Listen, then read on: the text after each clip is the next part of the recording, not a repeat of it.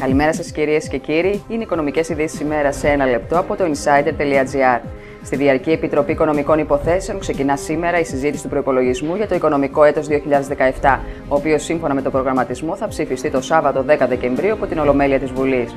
Φθηνότερη καθίσταται η διαδικασία κλεισίματος βιβλίων για τους φορολογούμενους.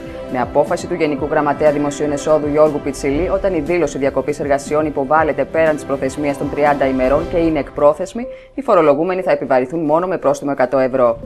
Συναγερμό στην ελληνική κυβέρνηση έχει προκαλέσει το γεγονός πως ο αριθμός των ελληνικών εταιριών με έδρα τη Βουλγαρία, όπου η φορολογία είναι μόλις 10%, έχει αυξηθεί από 2.000 που ήταν στην αρχή της κρίσης το 2010 σε πάνω από 17.000 επιχειρήσεις.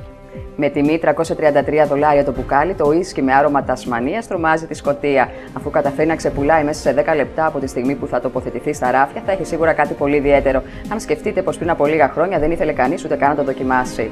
Τοτικά κινείται το χρηματιστήριο Αθηνών στο άνοιγμα της σημερινής συνεδρίασης με το Γενικό Δίκη Τιμών να κυμαίνει 630,41 μονάδες, καταγράφοντας απώλειες 0,35%. Μικτέ τάσεις επικρατούν στα ευρωπαϊκά χρηματιστήρια. Για περισσότερες ειδήσεις στο insider.gr.